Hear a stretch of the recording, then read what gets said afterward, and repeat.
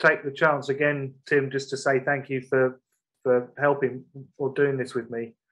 These are all themes we've been discussing themes that come out came out in my book, which is called Architecture of Power, about the architect Nicholas Hawksmoor, who was the only uh, apprentice of Nicholas of Christopher Wren.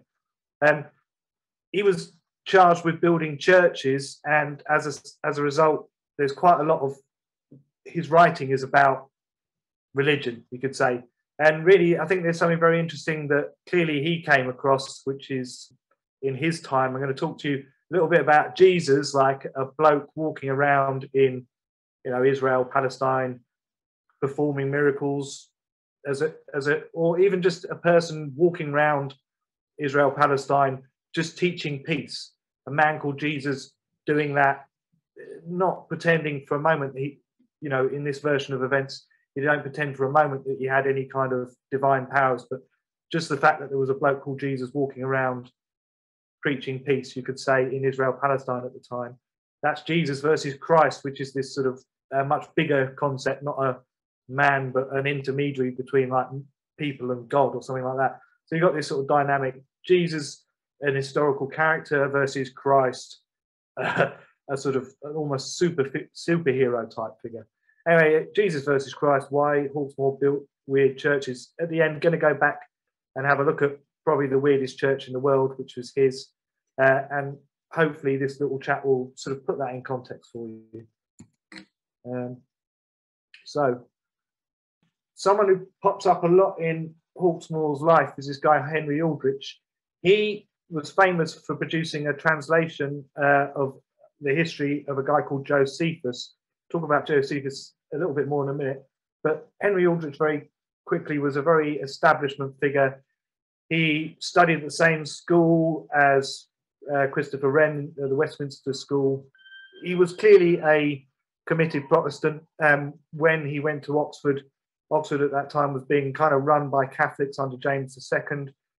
Henry Aldrich helped re-establish Protestant control over Oxford, and he fought with what was called the Catholic faction at Oxford. So you can see he's a, an establishment Tory, but very definitely a Protestant. So in 1700, what he was most famous for, or what's most relevant here, is he produced the genuine works of Flavius Josephus, the his, Jewish historian, translated from the original Greek according to Haverkamp's accurate edition. And I've highlighted the words genuine and accurate because this work by Josephus, this history of the of his era, had been severely edited and played with and rewritten over the hundreds of years uh, since it was first published. Really quickly, Henry Aldrich translated it from Greek into Latin and not English. Now, he did that because basically Latin was the, the language of the upper classes, and if you if he had translated it into English, anyone could have read and understood what this translation actually said, and that was not the agenda. The agenda was to keep it very much amongst the, uh, you know, the cognoscenti, the people who've gone to Oxford, Cambridge, and knew Latin. Um, so, although it caused a sensation, this translation, it was only amongst the sort of upper classes, the Latinate classes. The original history by Josephus uh, was ri- written in Greek. Um, that was despite Josephus being Jewish, so you could say he probably write in Hebrew, or and he was writing in Rome, so you might expect him to write in Latin, but he didn't. Uh, he wrote it in Greek to kind of the purpose of his history and the purpose of his writing really was to introduce Judaic culture to the greater Roman Empire, the sort of Hellenized um, Eastern Mediterranean, where you know all the Greek and Roman gods were pretty much or very very similar. Here's this brand new culture being introduced with their monotheism and their history and their culture. This is very much why Josephus wrote it in Greek, uh, so everyone Greek was the sort of you know the language everyone could read. Yeah, so a uh, book that was originally uh, written in Greek was translated into Latin, and you'll see um, why this was so. This is worth talking about. It's very interesting. So it's this is the guy whose work was translated. This is Josephus. He started out, you could say, at the beginning of this story as a Jewish general and ended up as a Roman historian.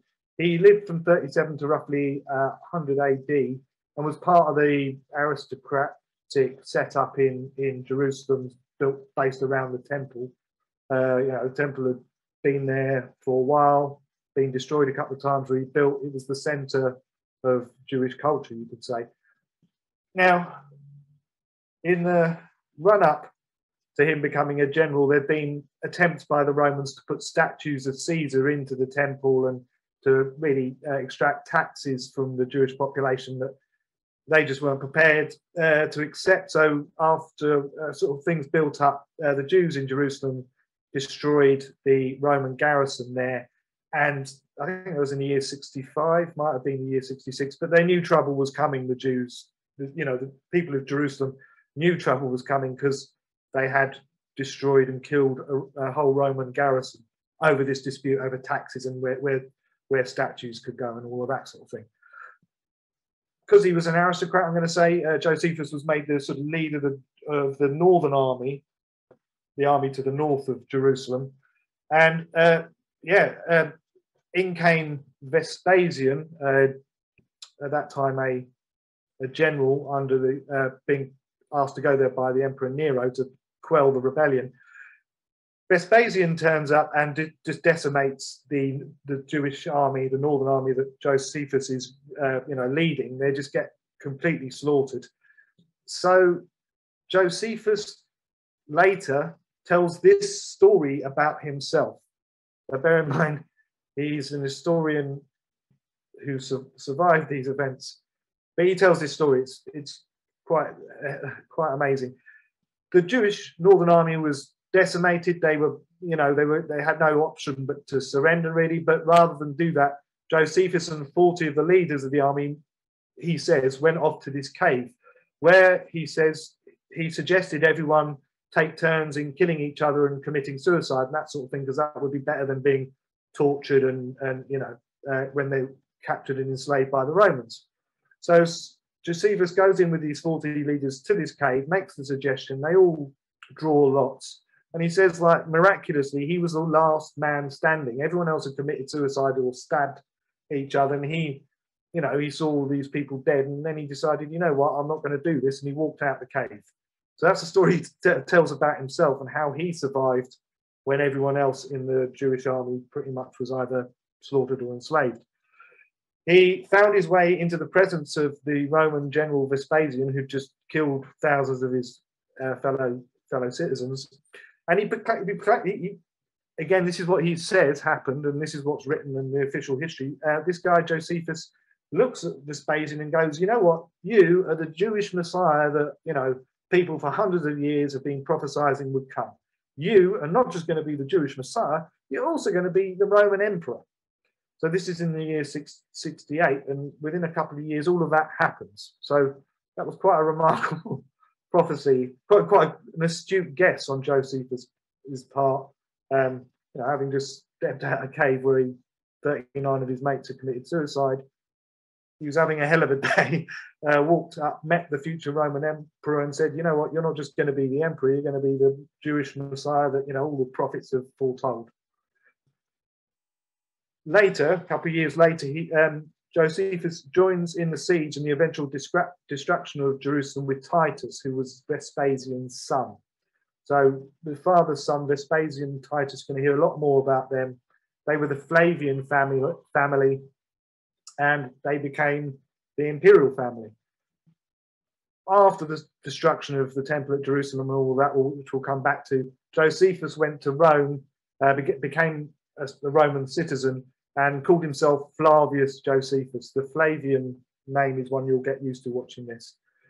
And he wrote the definitive history of the era. So, like I said, he was born in 37, died in 100, but the, the whole sort of 200 years, really, or yeah, about that prior to his life, he covered in very, very fine detail. He, he sort of wrote this history so people could understand the, the sort of Hellenized Roman Empire, could understand why the Jewish rebellion had happened, and he obviously did it. He was writing in Rome for the Romans. He did it with a you know a, a Roman bias to it, you could say. So although he wrote the definitive history of the Jewish people in that era, um, and you know uh, a very accurate history by all accounts, uh, you know, re- relative to a lot of others. His work was never translated into Hebrew. The um, Jewish community did not like him. It seems he was probably viewed as a traitor, and you, you can kind of understand why. But he was certainly a survivor, Josephus. So there you go. Yeah, he lived 37 to 100, wrote a history, a very, very, the definitive history, very detailed history of about, say 200 years before his birth, up to the, the time of the rebellion.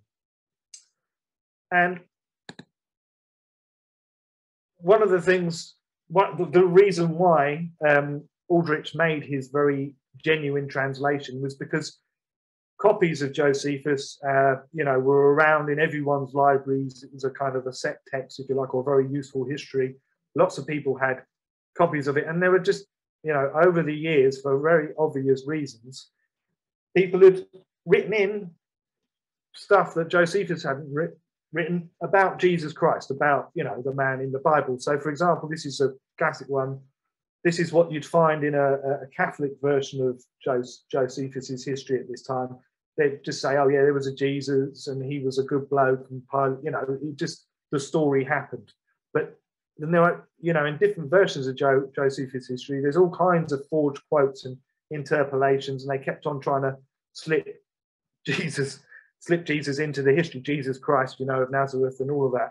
But actually, in the real, the, the, the, the Henry Aldrich translation, uh, Jesus of Christ, Jesus of Nazareth, whatever you want to call him, this pacifist teacher who, you know, drew quite a crowd according to the Bible, uh, who was the kind of person Josephus would have written about had he been there, and he just wasn't. There was a complete absence of Jesus of Nazareth, the pacifist teacher but there was a, a plethora of made up bits and bobs that were clearly made up when you compared it to Henry Aldrich's latest translation, because none of this sort of stuff was, was, was in there.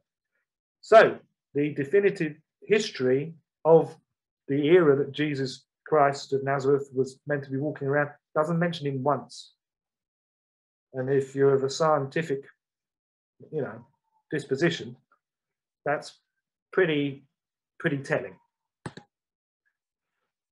In Josephus's book, Histories, I, am going to say I haven't read it all. I've read commentaries. Um, it's massive, and anyone wants to read it and get back to me with some, you know, I'd be grateful. But I'm not that really into the history of religion. Uh, but I have read a couple of things um, that, if you like, by people who have read Josephus, like commentaries. So um, it turns out in Josephus' history, there are 29 people who he mentions called Jesus, but not one of them like is anything like a Christ figure. Um, you know, there's no, not, not even no walking on water. There's no pacifist leader on the scene. There's no one calling on people to turn the other cheek and lead this new kind of life, almost Buddhist kind of attitude that Jesus Christ of the New Testament introduces this sort of pacifist thing. There's no one like that at all anywhere in Josephus' history. But there are this some parallels, let's say, between Josephus' history and the, the you know the New Testament narrative we get about Jesus. This is one of the closest you know crossover points you could say. There's a guy called Jesus, the son of Aeneas, and he cries out, "A voice from the east, a voice from the west, a voice from the four winds, a voice against Jerusalem and the holy house." A voice against the bridegrooms and the brides, and a voice against this whole people. So he's sort of being, you know, uh, he's talking in parables or whatever, you know, like Jesus did. No matter how severely wicked, this Jesus simply repeats again and again, woe, woe to Jerusalem. Finally, he says, woe to myself also, and he is killed by a stone from the Roman artillery.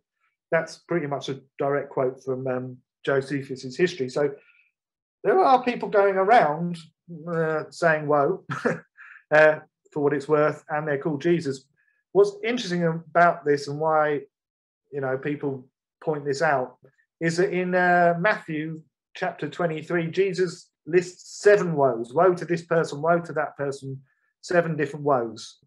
And in Luke chapter 11, he has six woes. Um, woe to this person, where you know, um, everything's going to go wrong. Woe. So, what I'm going to say is lots of, I'm going to say loose parallels between some of the stuff in the, the, actual history and some of the stuff that then appears in the, the Gospels. And that those parallels go a little bit deeper, and really there's one or two very, very interesting ones, which I'm going to show you now. People point out there are parallels between Jesus's, um, you know, mission after he, well, Jesus's mission once he's 30 or whatever, you know, once he's coming back and he's trying to preach and everything. There's parallels between him and the movements of Titus Flavius, who was the son of Vespasian. This guy, Titus, in the year 70, we mentioned this already, went around and just put the Jewish rebellion down. He was very, very, very effective at this. Um, yeah, so his his sort of campaign started in the north. This is Titus's campaign, and there was a battle on the Sea of Galilee, and they ended up the Romans in their ships. Apparently, you know, uh, they're not the Jews out their boats, whatever.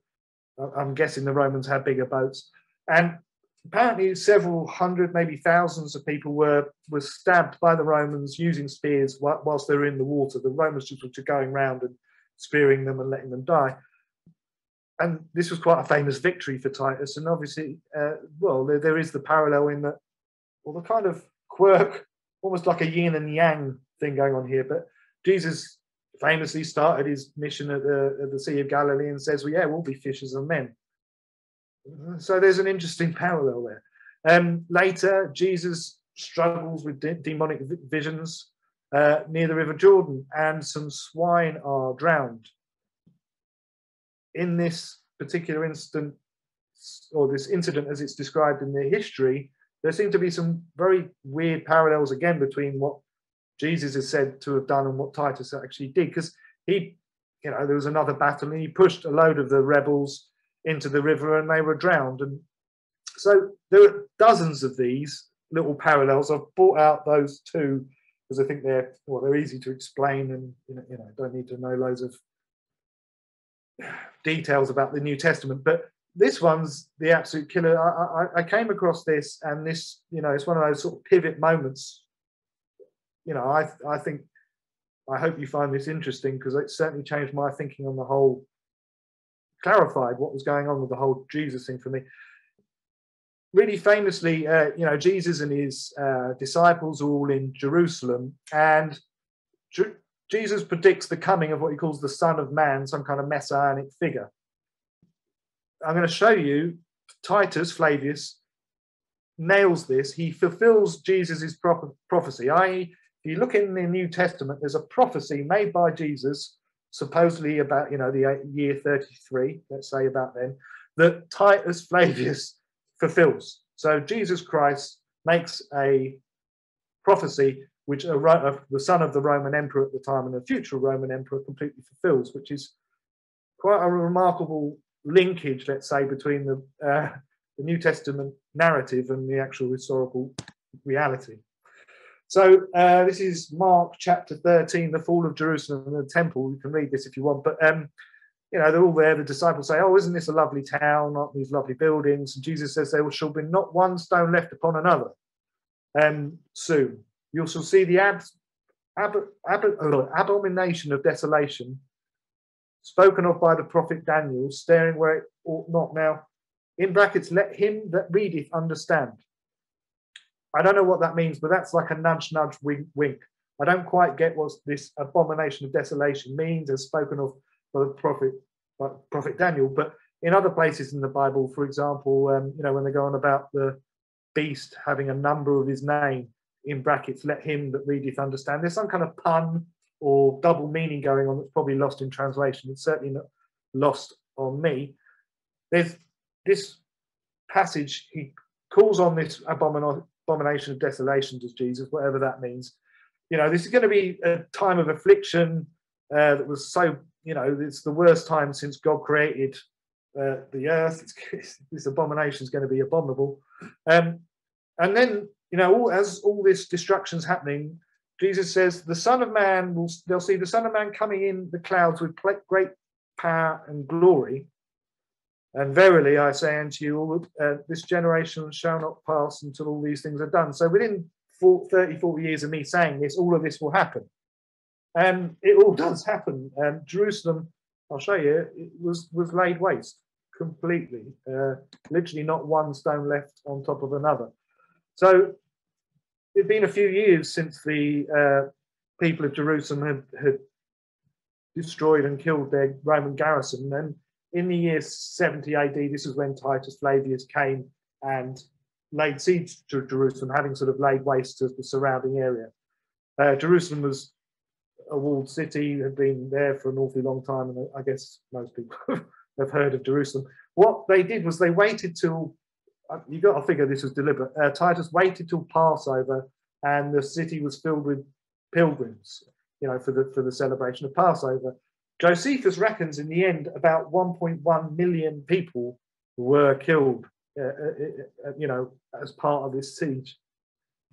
I don't know if he's exaggerating, but there are a lot of people there, and so it obviously made the town very crowded, and there were an awful lot of mouths to feed what's crazy is that whilst you know people had um, you know prepared, they'd strengthened the walls. They said there was 21 years worth of food stored in Jerusalem. You know these people knew that trouble was coming and they'd made preparations. But right, you know, in a way that maybe only religious religion can make people act. There were people who I'm going to just label zealots for the meantime.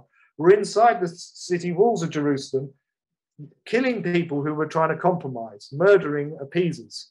Um, specifically, anyone who was saying, "Oh, look, we could make a, a, deal with the Romans, or we should try and talk this out," these zealots would go around, target them, and kill them because they wanted a fight. They want, they thought this was the end of days. You know, this is the prophesied time. If they have this battle, maybe the Messiah would appear. Whatever.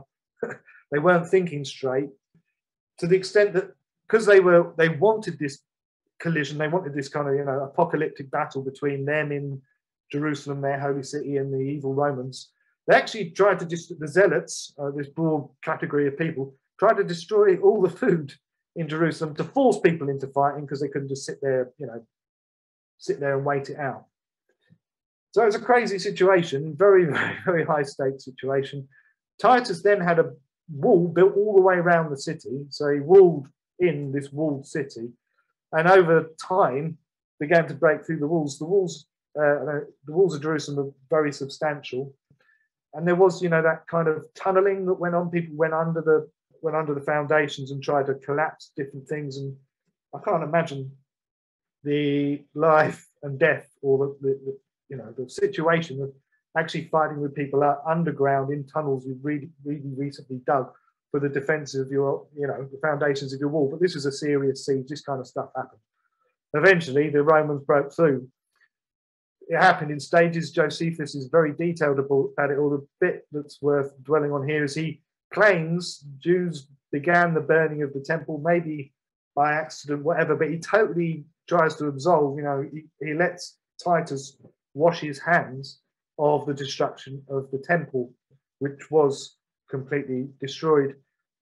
Not immediately, but everything in Jerusalem. They're, they're literally, they did destroy and yeah, as it said in the, uh, the, the New Testament, not one stone was laying on top of another. I think if the Romans saw two stones together, they knocked them. They destroyed Jerusalem utterly. And you know, happily for them, when they when the temple burnt down and they had a rummage around in the um, in the basement, they found a load of money.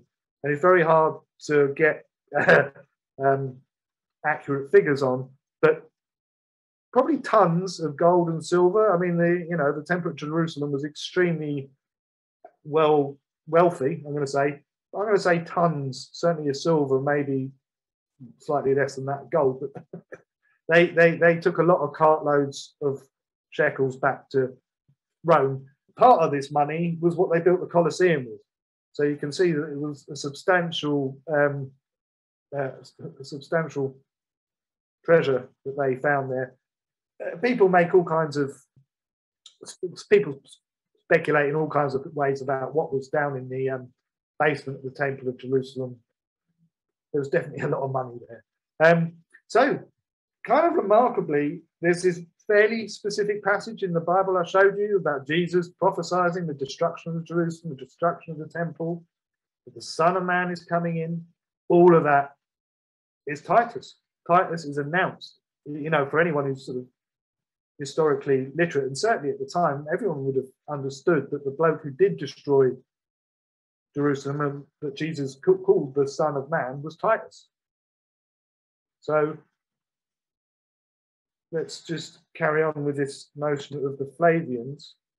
Oh no, sorry, right. So I want to just before we do that, uh, talk to you about Titus's dad, Vespasian. As I said, he became emperor in sort of 69 or 70 AD, depending on how you count it. He was, uh, let's say, a low-born, uh, not an aristocratic Roman by any stretch, family of mule traders. Apparently, he must have risen through the ranks through ability as opposed to, you know, nepotism. He's kind of famous for being very, very successful in his campaign in Britain when the Emperor Claudius ordered the invasion. Uh, brought loads of elephants over to smash up the chariots. Um, some quite remarkable tactics and innovations they used to try and be more successful in Britain than Julius Caesar had been.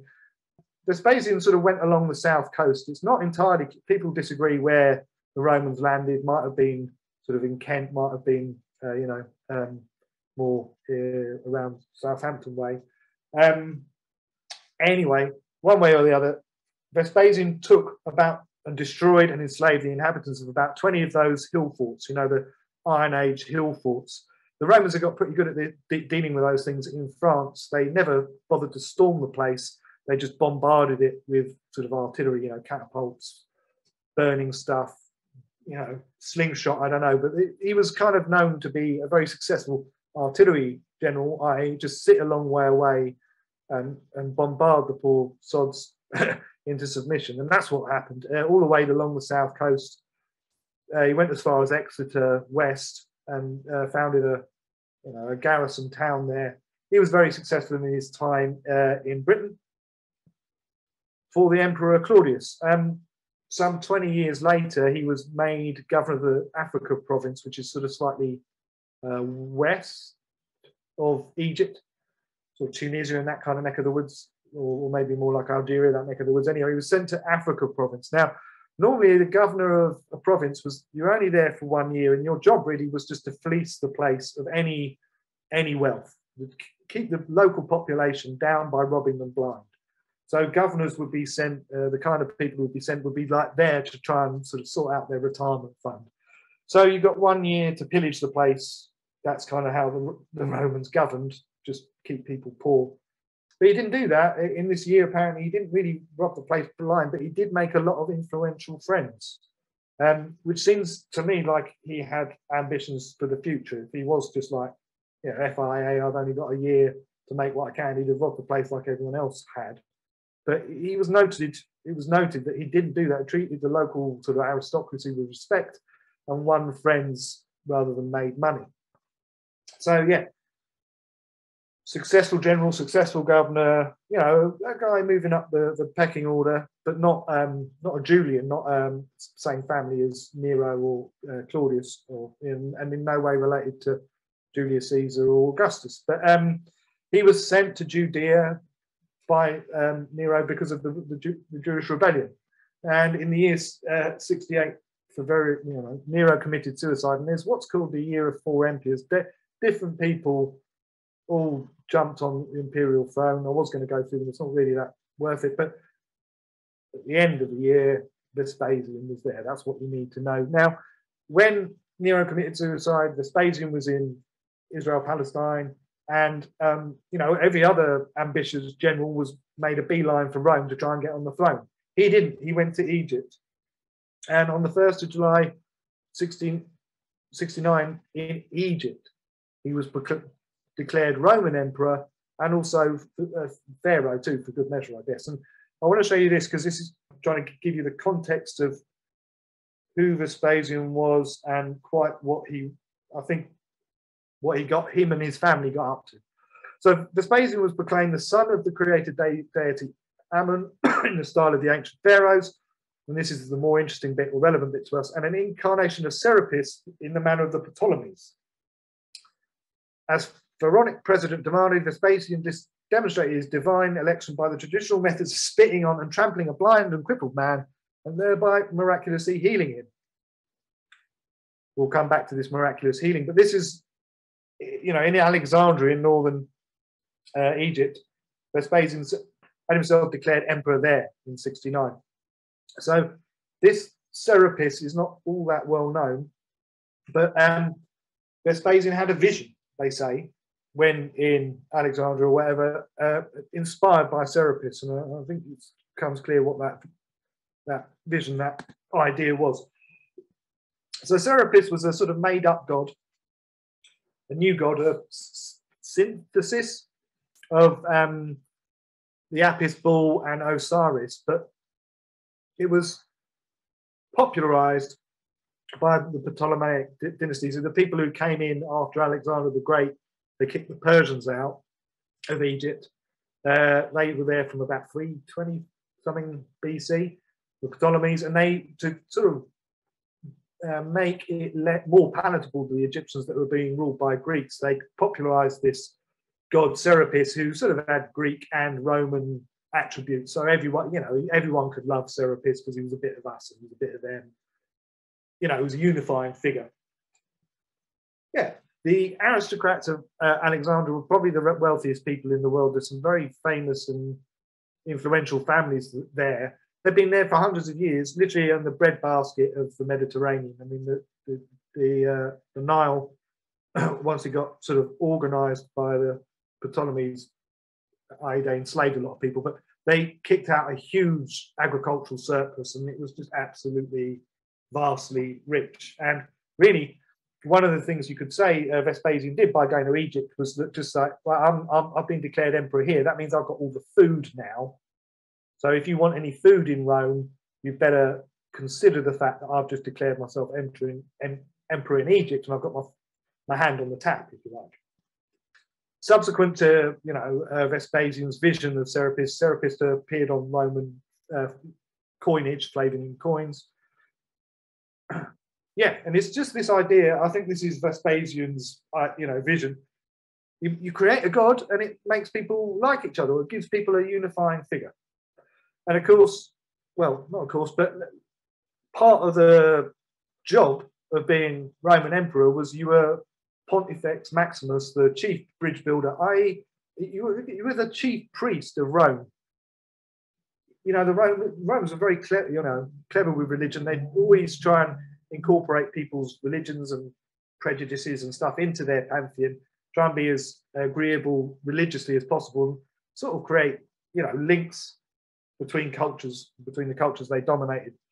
You know, trying to make the people they enslaved feel included in the whole enterprise, I guess you could say. But the Roman emperor was the chief priest of Rome, and Vespasian had this vision, inspired by Serapis, of a unifying figure who could everyone in the empire could love. He wasn't he wasn't on anyone's side. He was he was everyone's, you know, everyone's favourite.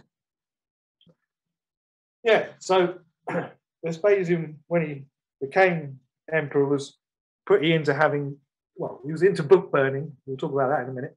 But he was also into book writing. Uh, he was pretty clear. He was trying to establish and you know establish the legacy. So um, Tacitus was paid for by Vespasian. Said um, this is going back to the first of July '69. The hand was instantly restored to use, and the day again shone for the blind man. Both facts are told by eyewitnesses, even now when falsehood brings no reward. So you can definitely trust that that definitely happened.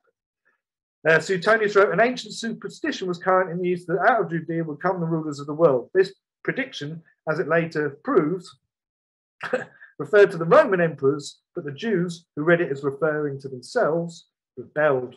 Silly old Jews thinking their prophecy about ruling the world related to them. No, it didn't relate to the Romans. This is a particularly Roman phrase at the end of this. This mysterious prophecy had in reality pointed to Vespasian and Titus, of course it had. But the common people, as, as is the way of human ambition, interpret these great destinies in their own favor. And here's a particularly Roman phrase and could not be turned to the truth even by adversity. So we couldn't even persuade them even when we hurt them. Josephus wrote, Now this oracle certainly denoted the government of Vespasian, who was appointed emperor in Judea. This is, um, this is all there in very famous bits of history. Vespasian became the, was uh, you know, appointed himself as Messiah, as world king. He adopted and he adapted the sort of Jew, Jewish prophecies about that. you can see uh, Josephus, we'll talk about that in a little bit more, was very helpful in this. But Vespasian absolutely, he performed miracles. You know, what do you want? He's a he's a genuine king. He, you know, he's a pharaoh. He's a um, he's a he's a worshipper of Serapis. It's all good. Vespasian has set himself up to be everyone's friend, ruler, and Messiah. Vespasian was the first, what's called Flavian emperor. It's his family that took over from the um, slightly mental family that had descended from Julius Caesar. And if you look at early Christian figures, um, they're all Flavian, all of them. guy called Titus Flavius Clemens was Vespasian's cousin, Flavia Domitilla. Very, very, very early mentions in the Bible was Vespasian's wife. Berenice mentioned very in all those letters and stuff in the uh, New Testament, Vespasian's mistress or, or, or, something like that. Clement the First, who you know they say uh, Peter was the Pope first, isn't? The first historic Pope was Clement the First, and he was Vespasian's relative, either a nephew or something like that. You'll see if you go through a lot of the the early proponents, early bishops, the big movers and shakers in Christianity, Roman Christianity, the thing we all think of when we talk about early Christian, they're all Flavians, every single one of them. This was a family business. They'd Vespasian had had his vision. We would need a unifying figure at the heart of our religious and cultural life. Let's go Jesus. And so we'll talk about it a little bit more, but every single major figure in the early, early history of Roman Christianity was a Flavian. It was a family business. This is a quote. Um, one guy who is very interesting about all this is a guy called Joseph Atwill, uh, at at will w i l l. Um, this is a quote from him. Sort of nicely summary, summarizes it. I think um, this is not. He's not the only person who makes this argument. Jew, uh, Jewish sects in Palestine at the time who were waiting for a prophesied warrior Messiah were a constant source of violent insurrection during the first century. When the Romans had exhausted, you know, they'd run out of ability to stab people, conventional means of quashing rebellion, they switched to psychological warfare. They surmised the way to stop the spread of zealous Jewish missionary activity was to create a competing belief system. That's when the peaceful Messiah story was invented. Instead of inspiring warfare, this Messiah urged turn the other cheek pacifism and encouraged Jews to give unto Caesar and pay their taxes to Rome. So early Christianity, you know, this this it was a Roman artifact to help pacify a very warlike people.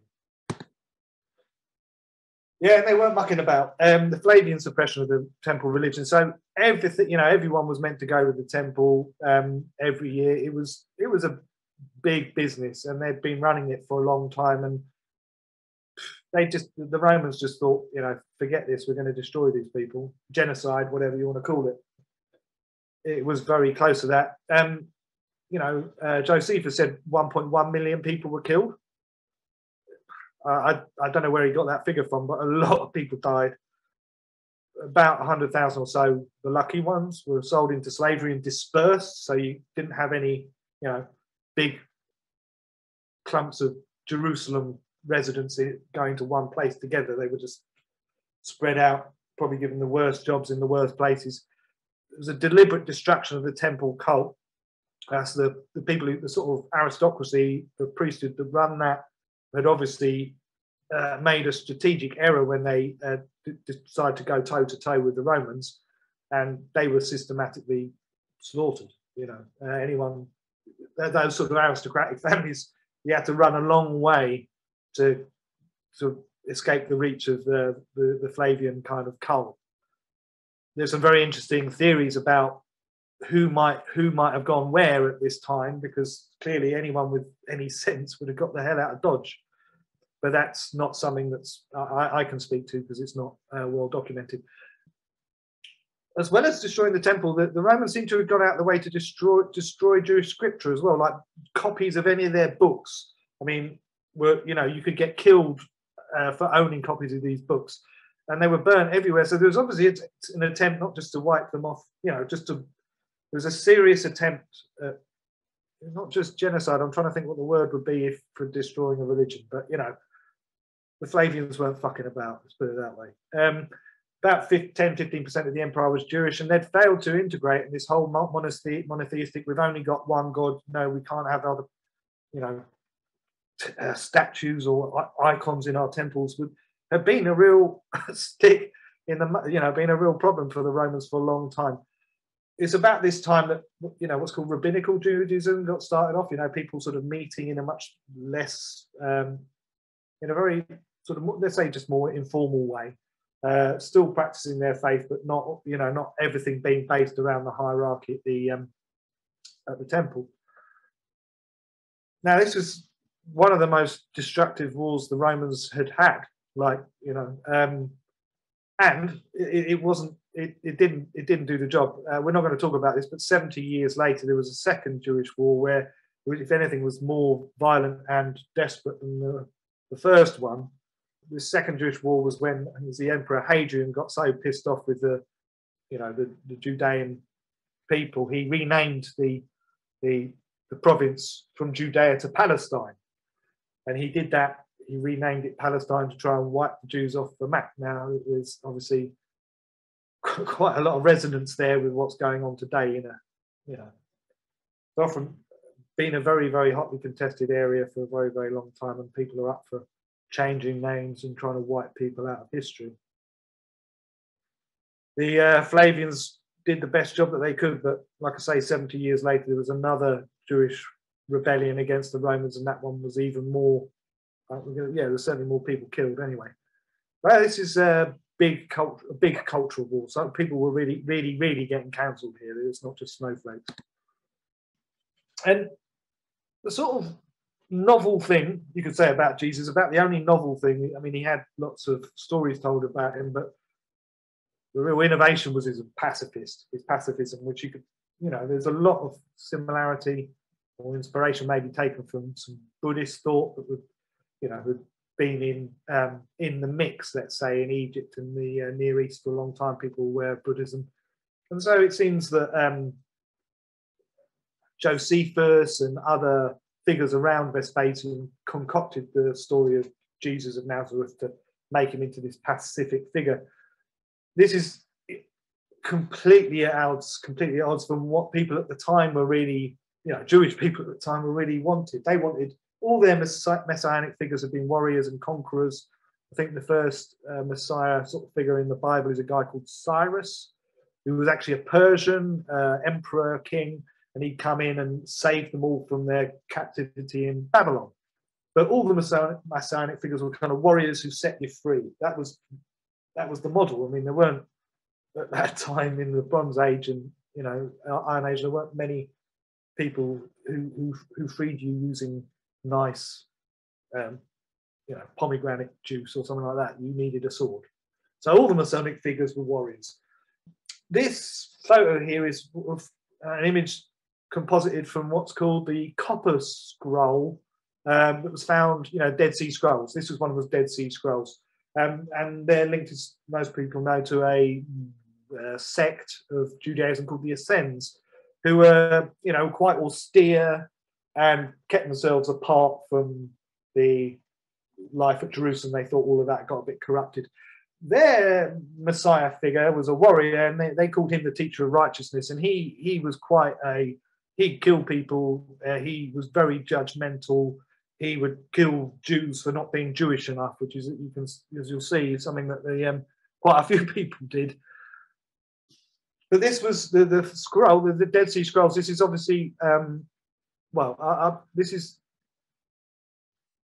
uh, historical an, an historical find of uh, of relevance to to to you know the, who Jesus was. So this copper skull uh, scroll was found and then eventually opened and translated by a guy called John Marco Allegro, who was a professor of, um, you know, an expert in Semitic languages at Manchester Uni- University. As you may well know, um, these scrolls and other things found at the Dead Sea have been these been very controversial. There's been all kinds of attempts to get them published, and then people holding things back. And although they were found in 1946, it's not entirely clear, but they were mostly published, let's say, in 1991. So people were sitting on them for a very long time. And once you see what John Marco Allegro and other people who saw the scrolls and translated the scrolls, once you see what they said, you can see why people weren't keen to, to share because it kind of blows a hole in um, a lot of the Jesus myth.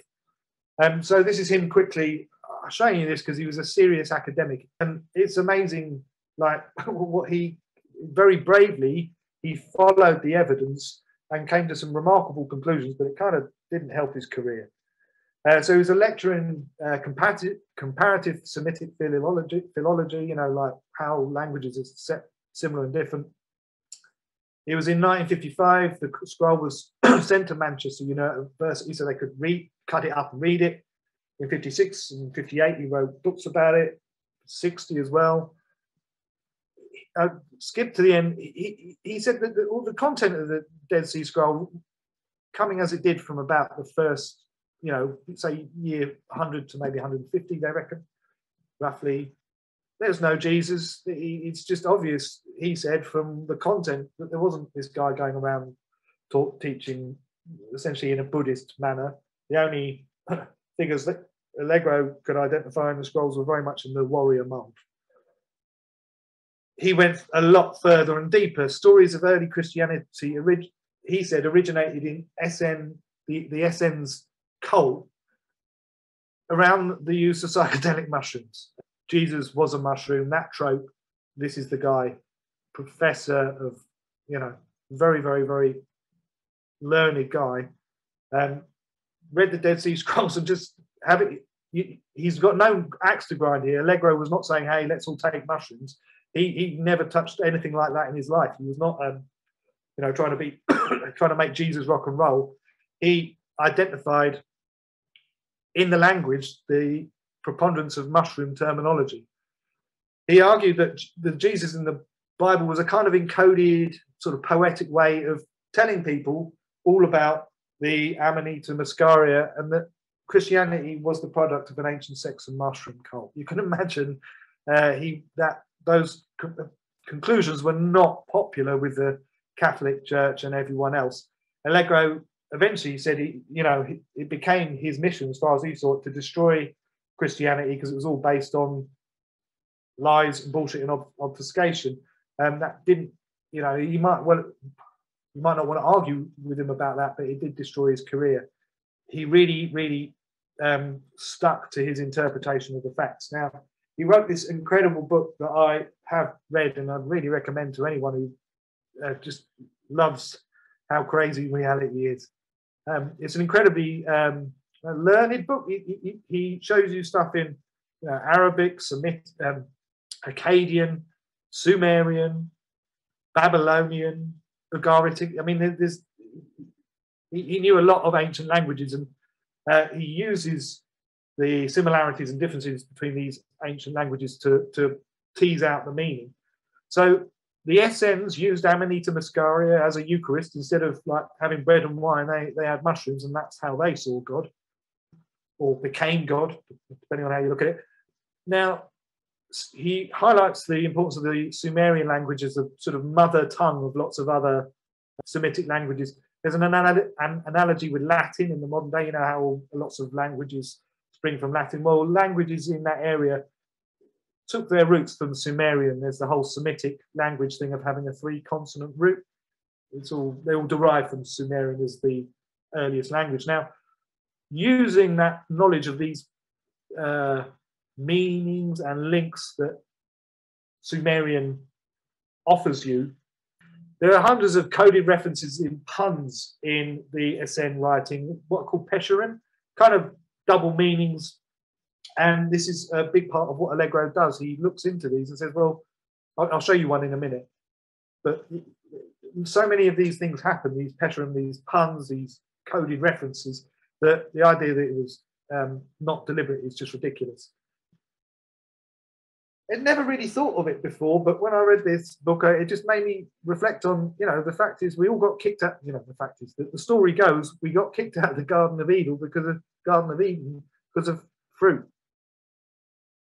Um, you know, we're all here and suffer for eternity. God's punishing us because of a piece of fruit. It's it's a weird, weird setup, I would suggest that probably originally the um, fruit of the tree of knowledge was not an apple. You were being told not to eat this stuff because it could make you like a god, and that wasn't good for you. Something along those lines. Anyway, rather than you know the, it being bread and wine and you, you transubstantiating into Jesus or whatever the Catholics say, back in the day, people to see God would would take something a bit stronger. In the cult of Mithraism, they'd take some kind of I'm going to say hallucinogenic, psychedelic potion. There was the Kykeon, which is what was taken at Delphi. And ambrosia, the food of the gods, was, were all drug references.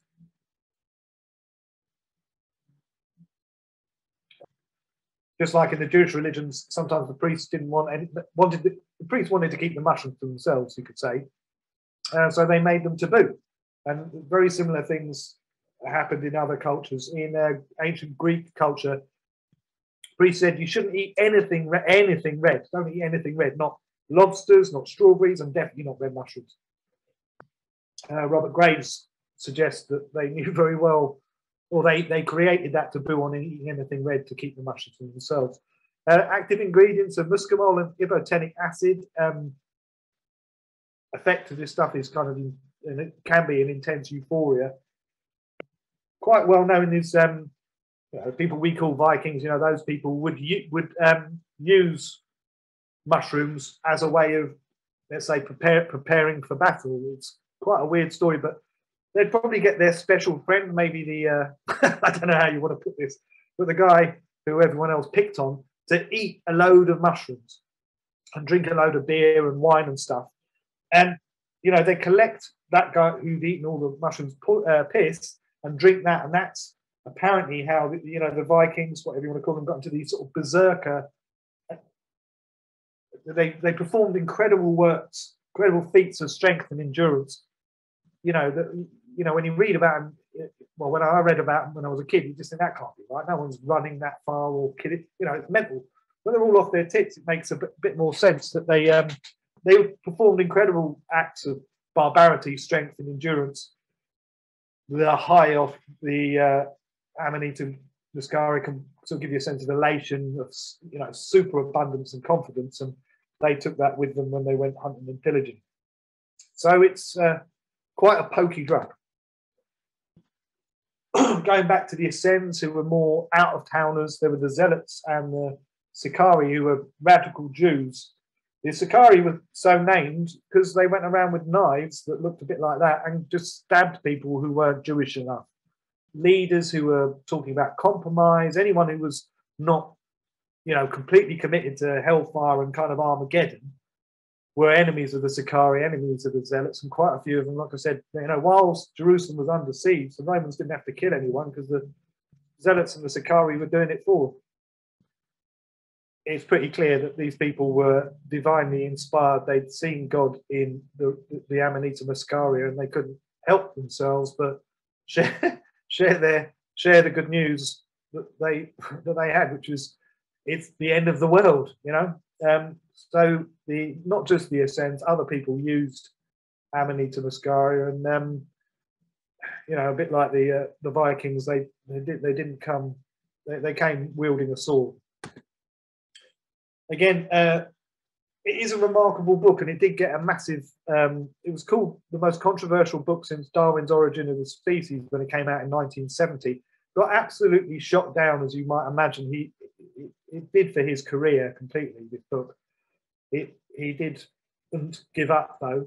Uh, but I read a copy of it because it was it was discontinued. The publisher, you know, it was hard to get a copy, a few hundred quid maybe to get an original 1970 copy, but 40 years after the copyright uh, expired, 2010, this came out. Some really, really nice stuff at the end because basically uh, there's a lot of Allegro's work at the beginning was kind of uh, innovative, let's say, but people have gone back and sort of cross-referenced a lot of his philology, you know, his, his linguistics, and there's a lot of corroborating evidence at the back.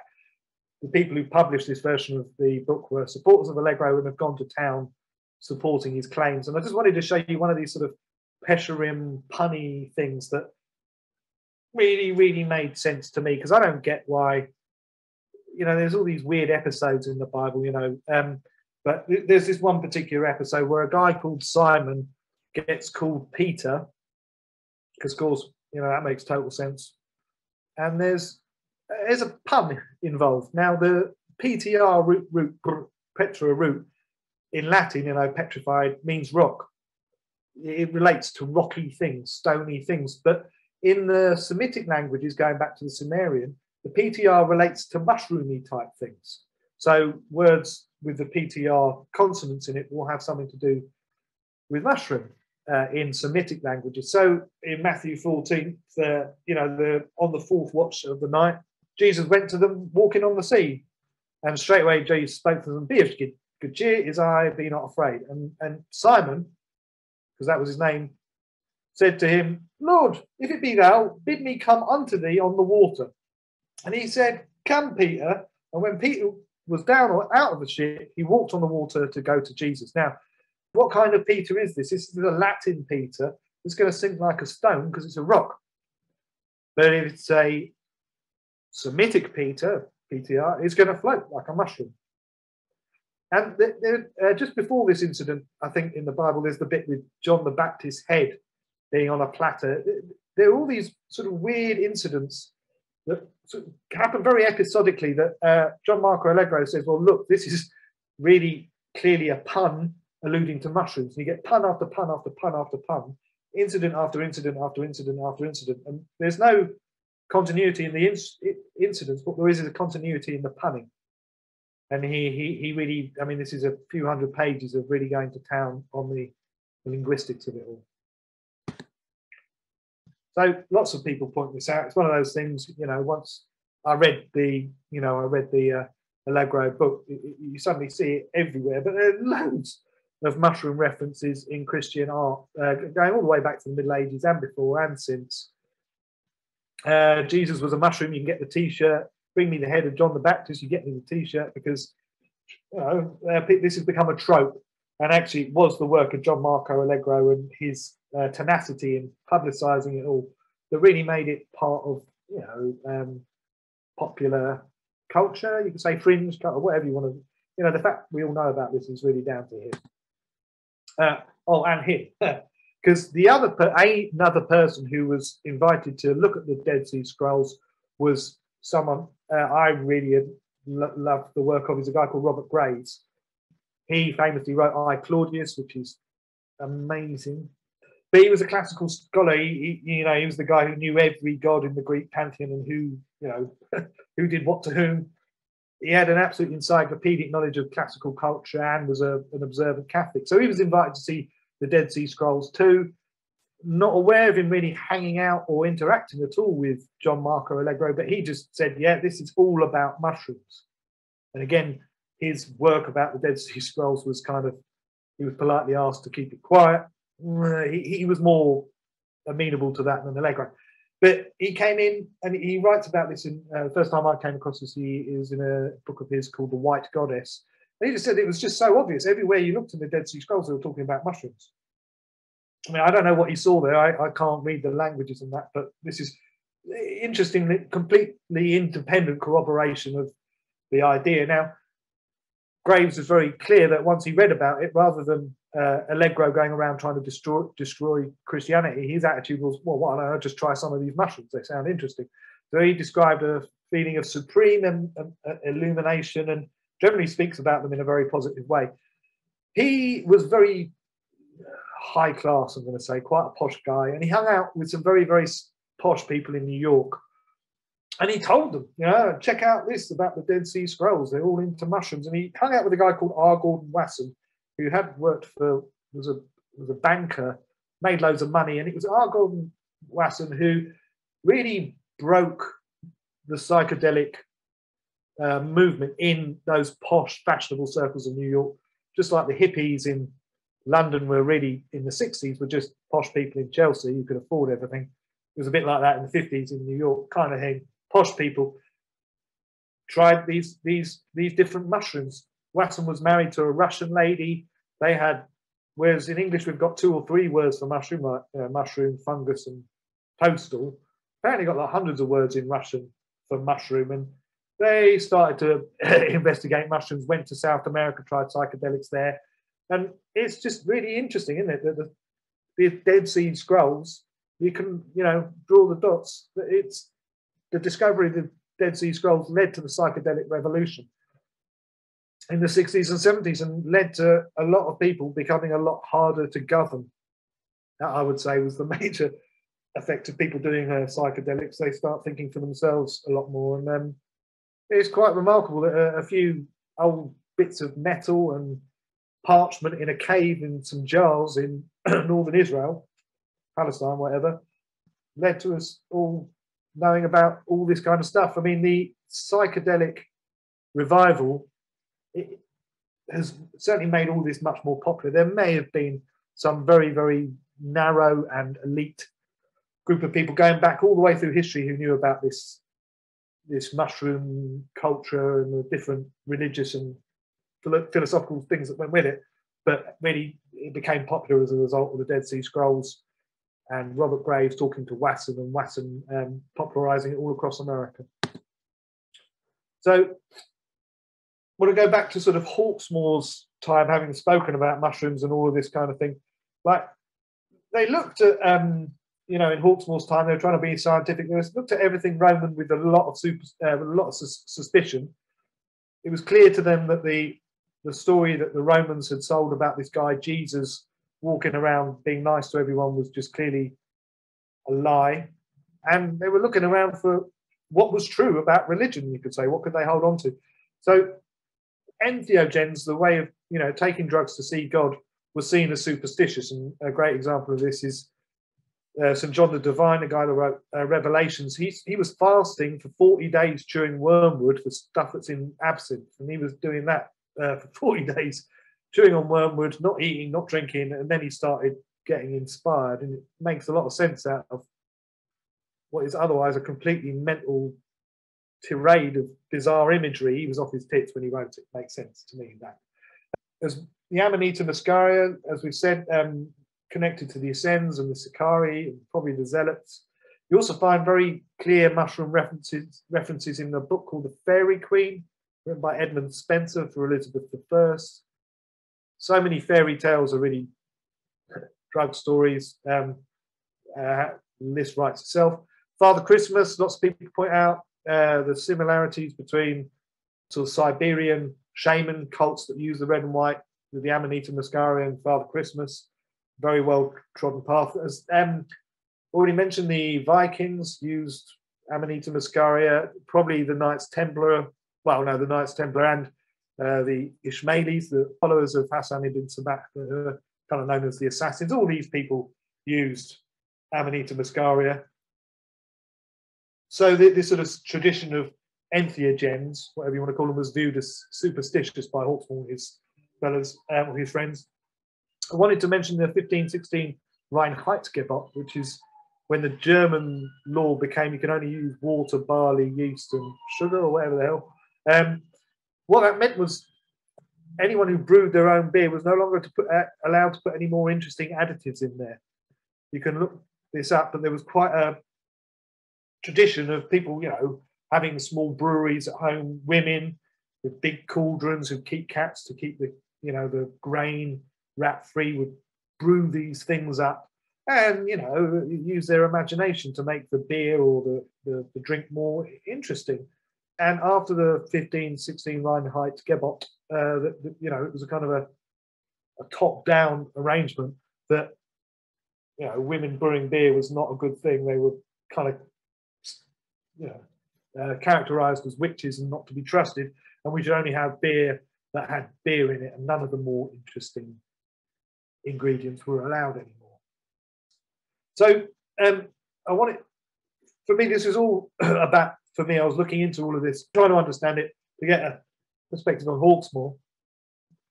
And really, uh, I, have got to say, Hawksmoor was around or shared an office with and spent a lot of time with one of the most prolific and committed drug takers I've ever heard of.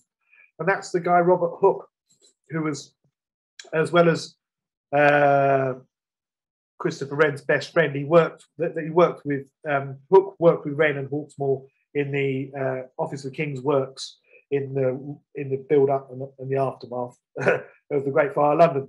Hooke was kept a diary, and he was a really, really, really keen self-medicator. Um, there's a story of a guy uh, going to India and coming back with the first consignment of bang, which was some kind of hash or you know some kind of cannabis product. And Hooke made friends with a guy, and I, I should have got the quote, but there's an hilarious quote of him explaining to the um, Royal Society all the effects of bang and what it did and what it didn't do, made you forget, made you hungry. He ate, he, he, he, he laughed a lot, he fell asleep, he got back. I mean, he just had a crazy time. But it was all right because he was doing science. Yeah. Same when he was doing laudanum, opium, you know, uh, opium with sherry, do that like there was no tomorrow. Big on cocaine, you know, he said, Oh, it's great, you can have a bit, you, you can work for hours, you don't have to eat anything, you know. He was he was all over it. He died young, Hooke, and he died, he was very messed up. And um, this is a guy who was Hawksmoor's mentor and kind of yeah, bigger boy. When Hawksmoor moved to London, he didn't know anyone. Hooke was one of the people Hawksmoor hung out with the most. I wanted to show you this uh, entry from his diary, and I've, I've, managed to swipe the date off it anyway.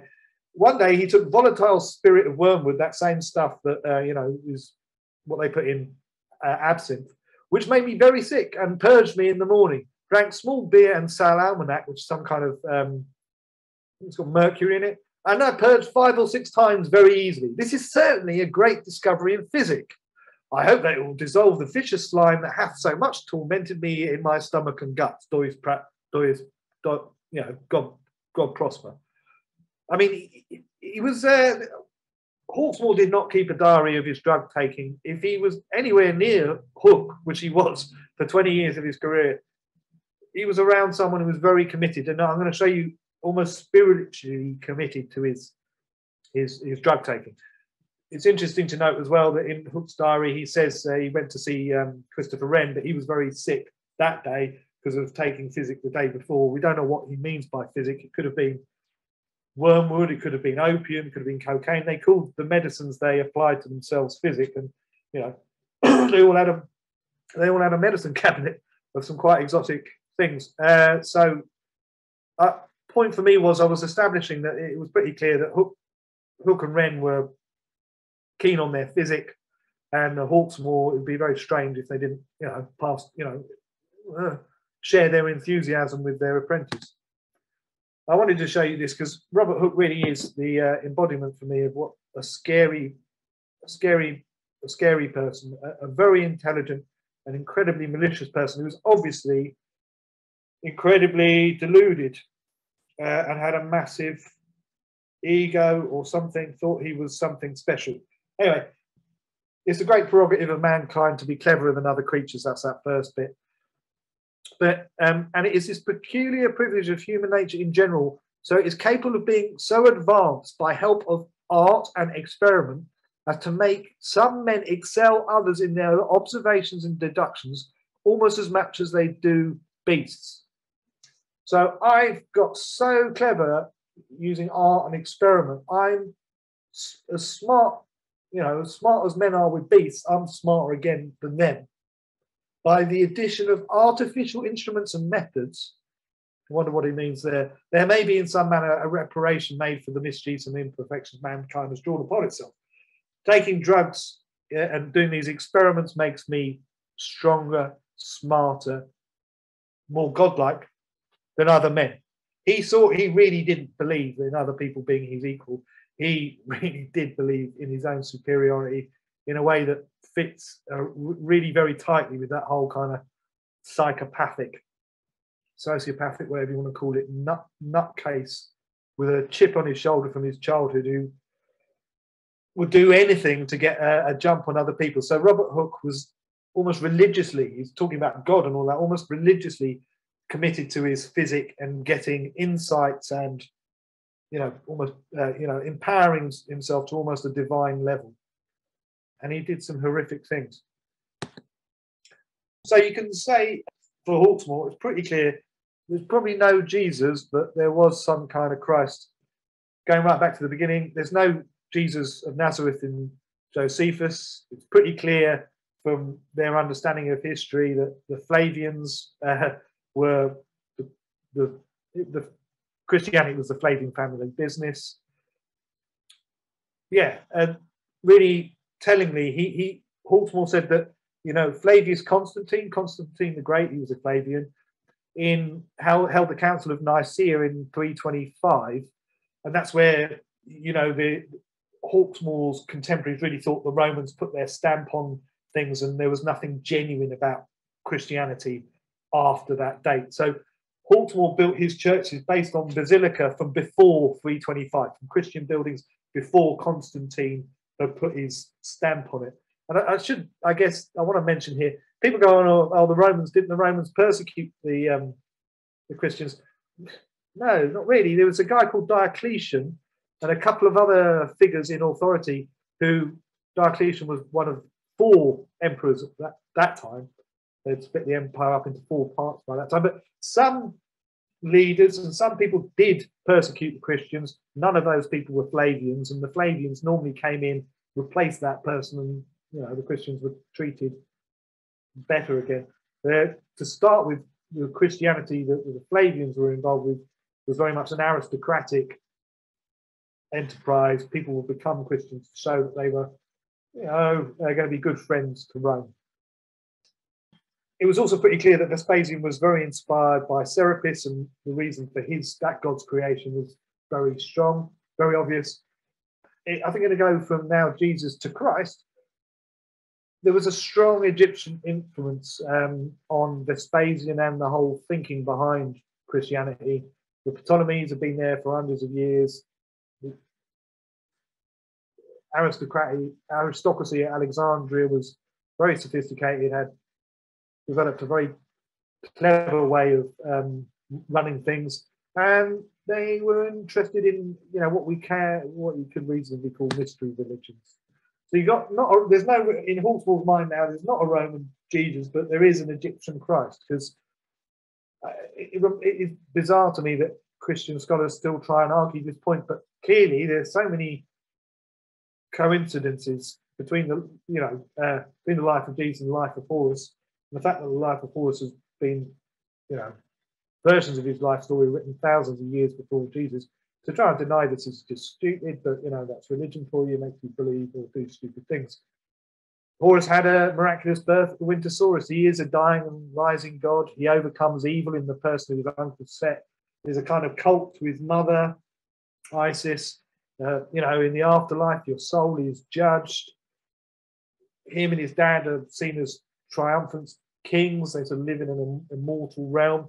And, you know, it's a mystery religion. It's verbal, not written. I mean, obviously, hieroglyphs and stuff are written down, but a lot of the emphasis on Roman, sorry, Roman, Egyptian spirituality, the Egyptian Christianity, was more, much more internal and I really, this is the story. Yeah, I love this story. Um, it really comes from Plato, but it really kind of helped me understand the, the thinking. So Thoth, this guy here, spelt Thuth here, is showing a king called Thamus all the different things he's invented because Thoth was, you know, terribly, terribly clever. And it comes to this. But when they came to let us this, said Thuth, will make the Egyptians wise and give them better memories. Is a specific both for the memory and for the wit. Thamus replied, Oh, most ingenious Thuth, the parent or inventor of an art is not always the best the best judge of the utility or inutility of its of his own invention to users of them. And in this instance, you are the father of letters from the parental love of your children, have been led to attribute to them a quality which they cannot have. For this discovery of yours will create forgetfulness in the learner's souls, because they will not use their memory, but they will trust to external written characters and not remember of themselves. So there's a sense in which you could say the written word, when you're talking about you know, religion or spirituality or whatever, becomes like a false idol. If you write something down, it becomes fixed and permanent and external to you, and it's something you have to obey. Somehow you could say, but if you internalize things, you don't have to rely on anything, and it's just a different emphasis on religion because the sort of Egyptian Christianity morphed or developed into uh, a strand of it into what's called Hermeticism. And this is more of an oral tradition, much yeah, where you don't write things down because certain things can't be put into words, and you trying to put them into words kind of crushes their subtlety. Hermeticism is a philosophical system that is based on the purported teachings of a made-up figure called Hermes Tris, Trismegistus, and the legend, a legendary Hellenistic combination of the Greek god Hermes and the Egyptian god Thoth. So you can see here we've got another one of these combinatory gods. Hermes was, yeah, like a, a mythical figure. People, yeah, without a sense of irony, wrote books about him and his oral tradition. Work that out. You can read a lot of books, uh, supposedly by Hermes Trismegistus, who was meant to be the, who was meant to espouse an oral tradition. So what he was doing writing books, he must have forgotten what he was doing. Also out of Egypt came St. Anthony, the father of all monks. This Egyptian form of monasticism had a big impact, not so much in Britain, but on Ireland. And we'll talk about that in a little bit. Anthony was the sort of opposite of um, a, a, social Christian. He went out into the, you know, went out to the wilderness and developed himself. It was a personal thing, and this is 180 degrees from the, the kind of religion the Romans wanted, which was social conformity. You go, you obey. You know, you, it's a very performative religion, Roman Catholic, Roman Catholicism. There's a lot of things for you to do. They don't, not focus so much on what's going on in your head, but more how you how you act in the social in the social sphere. Now, Renaissance Hermeticism was a kind of you know, just this chain of thinking going through the ages, it came up, it sort of produced all kinds of interesting stuff. Now, this little code here, I will admit I, I, I didn't write and I haven't translated it all. So if it says Hail Satan in it, I'm sorry, but thought it might be fun for people to have a look at. This is a code I've come across in other contexts. Yeah, but there, there was all this work was internal. It, it, didn't matter, you know, if you were a hermit, how you looked, you know, how badly you smell, how many teeth you had, how rich or poor you were. It was working on the inside was the emphasis. And then people came up with incredible works of the imagination, trying to make up, make sense of the world and make sense of their part in it. I think I really like this um, this particular mandala, whatever you want to call it, this sort of world map thing. You've got God in the middle, so G O D, power, wisdom, love, so threes, mother, father, son, that's threes. And then you've got a square, north, south, east, west, earth, wind, fire, uh, water. So you're going to fours. Then for some reason you go to the zodiac, so you've got 12, that's the heavens. And then the days of the week are seven, and they relate to the seven metals that they thought they were. And lastly, you've got the 22 letters of the Hebrew alphabet. So someone's trying to organize, they get in their head a mind map of the of everything that's in the universe. You could say something like that. I, I wanted to point out. Uh, it might seem like I'm being a bit of a smart aleck, but one of the reasons why there's in some languages seven vowels and 22 consonants is because seven over 22 is a really good approximation for pi. And I imagine that's what this person was alluding to with this. Yeah, so this Hermetic tradition produced all kinds of really, really interesting works of the imagination, you could say. Uh, people who were just going around obeying the Ten Commandments didn't go around painting the Sistine Chapel. It was people more into this kind of stuff who produced the interesting art and science. Uh, yeah, so there's this particular setup uh, of um, imagery that is particularly powerful and interesting and was relevant, I would say, to the Masonic and Hermetic thought processes that Hawksmoor was involved in.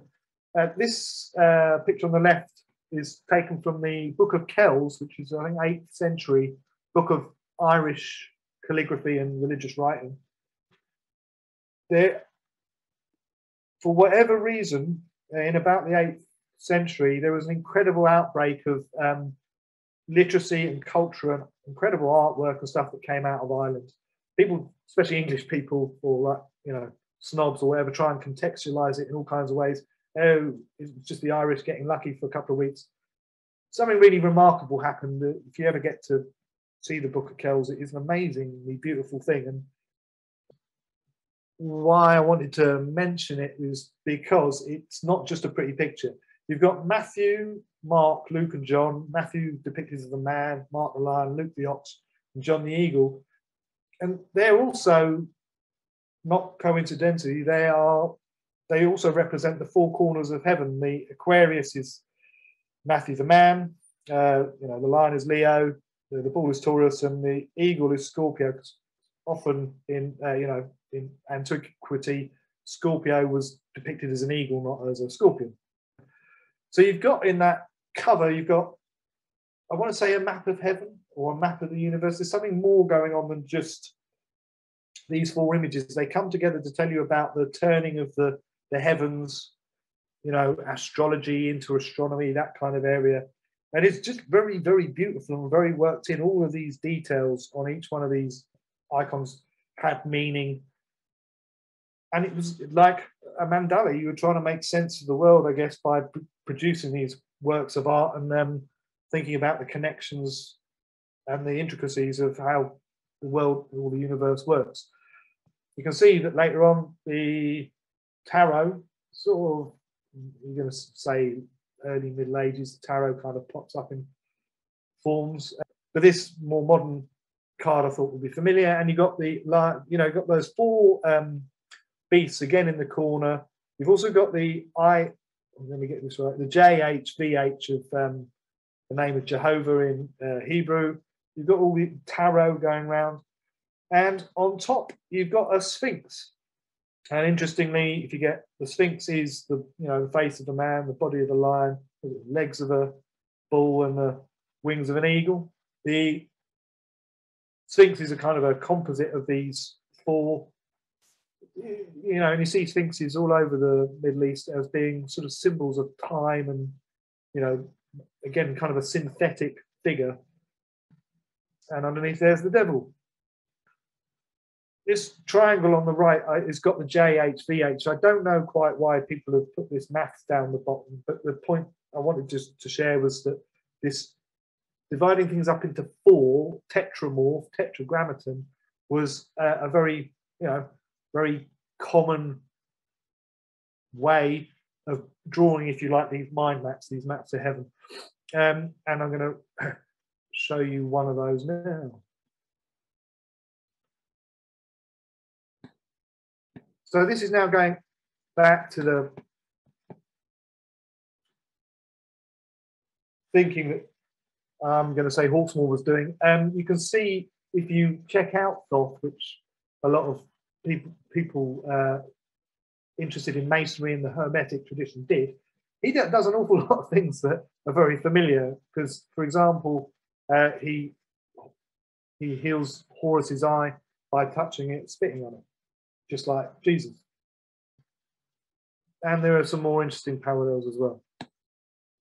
Because this eye plays a really, really, really important part in, let's say, Egyptian culture and thought. I mean, you know, everyone's seen the, the Eye of Horus as a, an icon, has all kinds of different meanings, but I wanted to share this story with you because I think it's really interesting and really cool and kind of seems to relate or have, have informed a lot of what Hawksmoor thought about this stuff. Story goes that uh, Seth, the guy with the black head up there at the top, was fighting Horus. Horus was trying to take back the throne from his evil uncle. And it was a sort of classic good versus evil battle. In the battle, um, Horus has his eye gouged, gouged out and it falls on the ground. Uh, as a result of that, Seth is starting to win this battle of good versus evil, and Hor- um, is struggling. So Thoth goes around and he tries to find Horus's eye. Uh, first of all, he finds a half of it and realizes that isn't enough. Then he finds a quarter of it. Then he finds an eighth of it, a sixteenth, um, you know, 32nd, 64. Keeps on finding smaller and smaller bits and he can't quite put it back together again. At some point, he goes, you know what, this battle's too important. And he just gets the all the bits he's got, puts them together, spits on them, and chucks them in Horus's face. And, you know, like by a miracle, the eye works and Horus defeats his uncle Set and good conquers evil. So, right in this battle, metaphysical battle between good and evil, the reconstitution of the eye by Thoth is seen as, um, you know, tipping the balance between chaos and order, good and evil. And um, the eye played an incredibly, uh, well, had a, a, really interesting use. It wasn't just a story, it was the basis of, of a lot of Egyptian mathematics. They wouldn't, they'd have an awful trouble, I think, Egyptian parents, let's say, if they had three kids, because they, they, were rubbish at dividing by three, or you know, any number that wasn't um, comment, you know, wasn't a half, a quarter, or a sixteenth, or an eighth. They they stuck very rigidly to their fractions and their their mathematics, and it made dividing things into three particularly problematic with them. So, as an Egyptian parent, if you had, I don't know, 20 Mars bars and three kids, um, you, you, you, you blow your mind. If you had four kids or two kids, you could do the maths very easily because you practiced it. But they used halving to talk about fractions, as you can see on the left, and they used doubling to do um, multiplication. So just to quickly explain, you've got 25 times 32, you get 32 and you double it, 64, double it, 128, and so on and so on and so on and so on, as, as high as you need to go. And then you make the numbers in the left-hand column add up to the number you're trying to uh, multiply by. So in this case, 25, so that's 16, 8, and 1. You get the, the values next to 16, 8, and 1, and they add, add up to 800. So you got um, this is this story of how the Eye of Horus was integral to the battle of good versus evil went a lot deeper for the Egyptians. They used it as the basis of their mathematics. And you can see Thoth is getting a lot of credit here. Not only did he invent letters, but he's invented maths as well. And you'll notice on this left-hand image, they've labeled touch, taste, hearing, thought, sight, and smell. I thought that was, well, let's just say I kind of just took that with a pinch of salt when I first saw it a few years ago. It's true to say I've been studying neuroscience now for a couple of years, um, a private clinic. I'm, I'm taking it very seriously and it's very complicated. But what's remarkable, what's kind of, this isn't me who noticed this, but actually the way the Egyptians label the eye of Horus, so this bit's to do with smell, this bit's to do with hearing, it's very accurate. It, it, it's really very quite, it's really ties up very well with the workings of the brain. And, you know, heaven fuck knows how they know that, all this stuff. But for example, they say um, hearing is that little bit behind the eye, and that's where the auditory cortex roughly is in the brain. I'm not saying that you can use this as an anatomical diagram, but it's a really good cartoon. And the association with Horus and the brain, you've got the inner bird, which is the brain stem. They call that the inner bird. That's uh, it's called sort of a midbrain or mesencephalon, and you've got the uh, cerebellum, that little bit that looks like the wings. And you've got the eye of Horus, because if you cut a brain in half and you look at just the inside half of a hemisphere, it does look like an eye. So very, very clearly and in a lot of detail, in some remarkable anatomical ways, the eye of Horus is to do with the imagination and, and the, the say consciousness. Uh, and that blew me away. I'm, I share it because I think it's interesting. Now, we've got here what I've done. I've put the eye right on the right on the you know intersection of the cross, and in in there you've got Horus because Horus was the sort of balance of the elements. He's the the king who, you know, with Thoth's help, manages to keep everything well managed and everything ticking over. His father in heaven above him is Osiris. He's associated with the north, with winter, with midnight. Osiris is the sort of embodiment of forces of order and growth. He's green. Um, people who've watched other ones of these will know that he's associated with barley. This is a lot of the story of Isis and Osiris is really about how to create, uh, how to grow crops and create a sur- surplus. To his east, I'll say, is his mum Isis, associated with spring and dawn. She's a, a sower and a, a, binder, you could say. Um, beneath him is his evil uncle Set, who's the south, summer, midday, chaos and destruction. The, the Egyptians associated midday and summer with destruction because it was so hot. Um, Seth was sort of said to live in the chaos of the deserts, and they were always trying to keep the chaos at bay. Finally, there's Nephthys, who's the west, associated with autumn and the dusk, and she's a kind of reaping and a, a brewer. A lot of the more interesting Egyptian concoctions, you could say, were associated with Nephthys. And she, you know, uh, she's associated with the autumn and uh, that sort of part of the process where uh, maybe fermentation, you could say, is happening. And I put the um, image of Thoth there because he's the kind of, if you like, he's the, the man standing behind the throne, whispering to Osiris, making sure everything's going according to plan.